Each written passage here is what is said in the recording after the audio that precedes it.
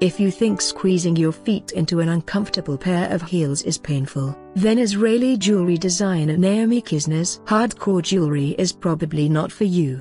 Her innovative pieces are meant to be inserted into the wearer's veins, harnessing kinetic power from the body's involuntary movements to produce electricity. The collection, named Energy Addicts, features invasive pieces of gold jewelry that have golden spikes at each end which are inserted into the wearer's veins in two places.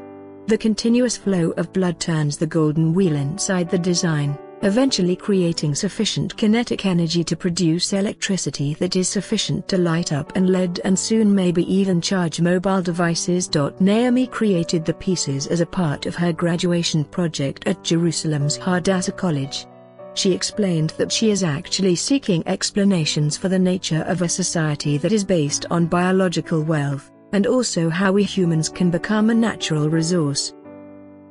In our modern life, energy is everything, she said. It is the force that drives economies globally, many times disregarding the consequences. I wanted to explore the post-humanistic approach that sees the human body as a resource, she added, it interested me to imagine what the world would be like once it has experienced a steep decline in energy resources and how we will feed our energy addiction.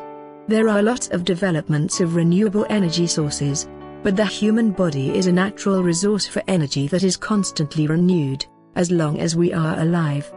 Although it isn't too likely that people will start wearing such jewelry soon, Naomi believes that technologically we are not too far away from these ideas becoming a reality.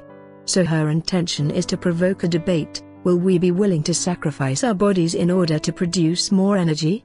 I hope that the project will make people think about the possibility that this could be their future, and make them think about whether it is the future they want or whether we can do something different today to avoid it, she said.